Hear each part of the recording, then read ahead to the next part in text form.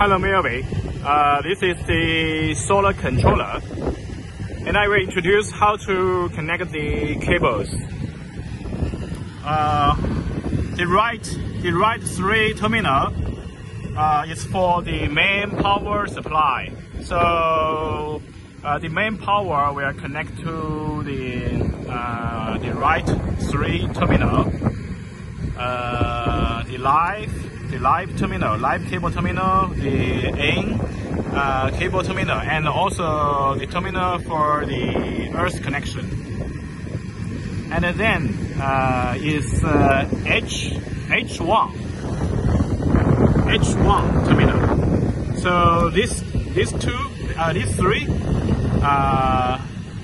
uh, uh, terminal is for the this controller deliver deliver the uh, electricity to the electric backup.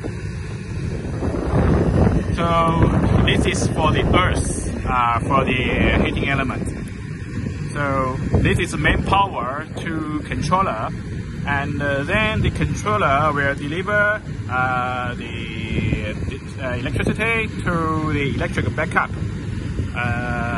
Uh, this is depend on how you set the controllers, uh, which time period and uh, which temperature you need.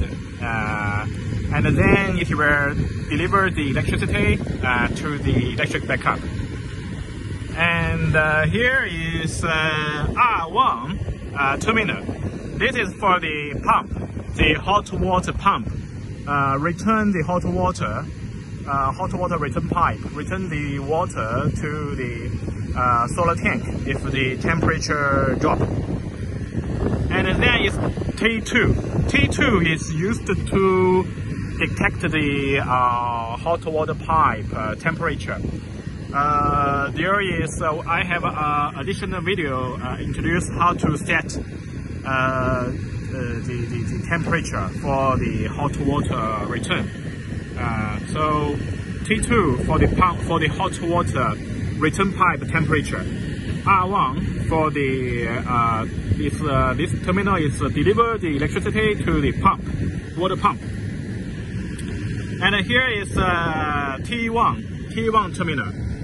So uh, T1 terminal, the left terminal, T1 terminal this is to detect the temperature in the solar water tank.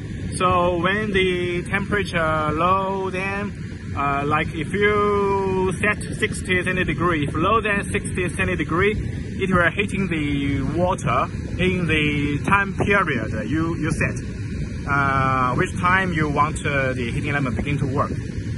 So here is the terminal for the uh, uh, controllers uh, which you can understand.